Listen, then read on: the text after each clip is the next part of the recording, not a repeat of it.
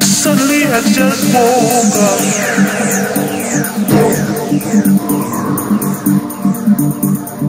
And see the reality.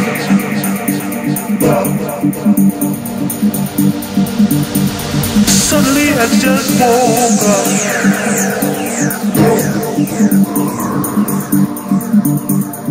And see the reality.